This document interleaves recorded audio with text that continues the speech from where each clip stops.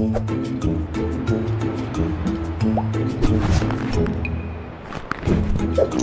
you.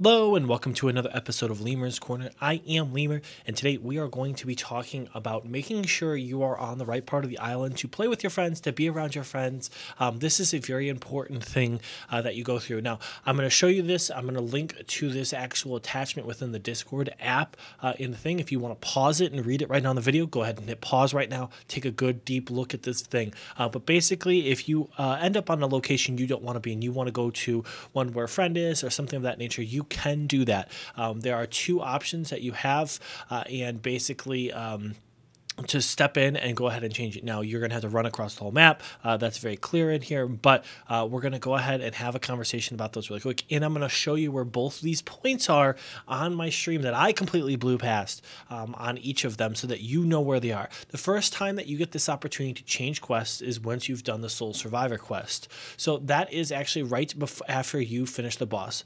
So right here, you can see I'm finishing the boss on stream, uh, and it's going to come through uh, and pop into here and all kinds of fun stuff. Uh, and once you're done, you jump into this part where it goes to the loading screen and then you spawn in on the beach.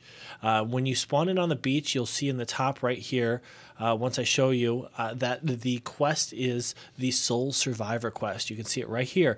Uh, investigate the Watchtower. Now, if we go back to the image here, it tells you that do not accept the next quest.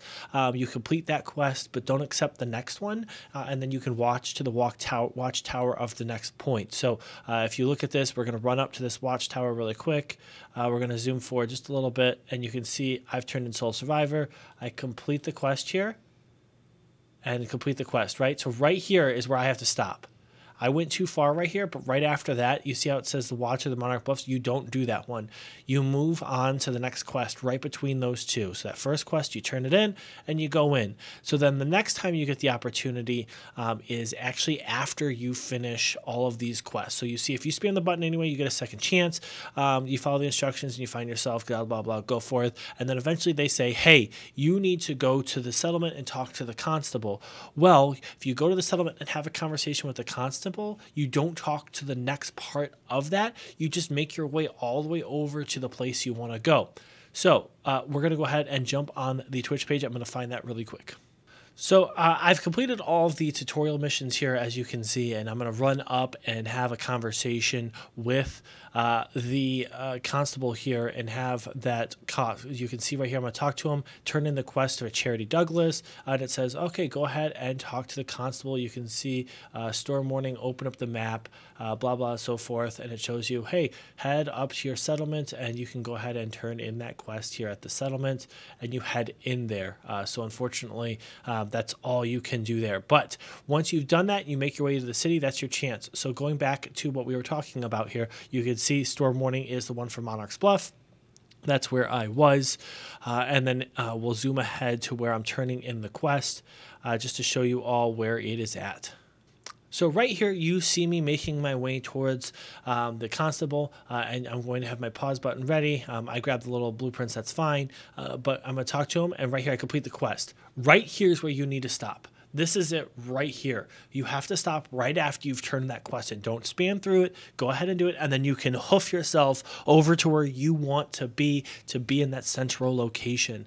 Uh, so those are the two crucial points that you do it. Then Unfortunately, if you accept this quest here, that was your last chance until you get your faction quest. So if we jump back uh, to the uh, description, you can see you basically can't wait until you've uh, chosen your faction and unlock Old Man at the River, the main quest line. So you have to do everything up until that point uh, if you are doing it, uh, but this is your opportunity. You have two chances to switch your settlement if you want to level with a friend. It is completely up to you. I know many people who are looking to be very sweaty and want to do things are going to not avoid this, but for those of you that are looking for a spouse, a friend, or something of that nature, this is your opportunities to go ahead and jump to a separate island. I do wish that they would give you a more of a chance to kind of jump somewhere else, but this is the best opportunities, and I hope this video helps. I will link to the starting the tune video so you can see that. Uh, that's in my Twitch uh, that you can do that. Uh, down in the, the video, I'm also going to link this Discord app.